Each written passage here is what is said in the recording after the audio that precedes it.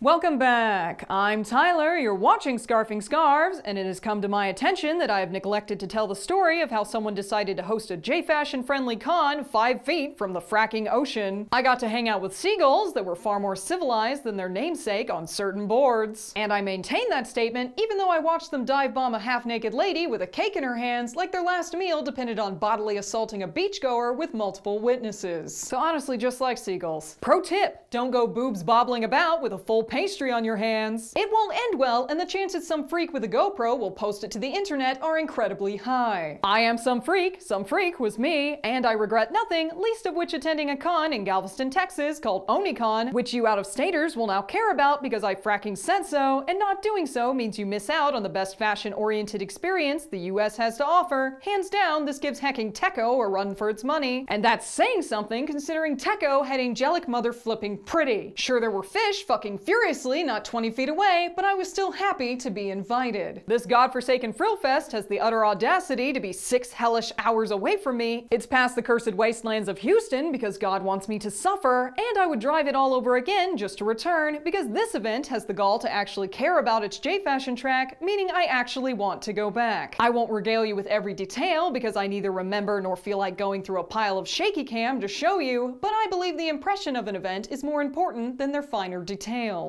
I'm speaking of how the shebang made me feel, and if there's any balm to the knowledge that Canada has better tea, hecking KCON and a bunch of my friends that necessitate international flights just to hang out with, it's that Onicon is in Texas, and all you maple syrup supremacists can do about it is ride your functioning public transit to Ottawa before realizing those bitches don't even allow Uber. Score 1 for US of A, and 99 for the poor Canadians who keep getting caught in the crossfire of my misplaced rage. Getting to the actual point of this screed, I had an unbelievable unbelievably good time at this event. I've experienced it both as an attendee and as a guest. And the only criticism I have to offer is maybe consider taking your damned island, grabbing the edges, and pushing it closer to cities that matter. I stole that joke from Lewis Black. This post was written by the Dallas gang. I believe the sound you're hearing is my Houston friends never inviting me to their houses again. This con was good enough for my frizzy-haired self to risk going full puffball in the humidity of the fracking ocean next door. I looked like an electric socket fucked a porcupine all weekend. We're talking love child of a chia pet and Bob Ross level of poof, and I would still go back. Because these people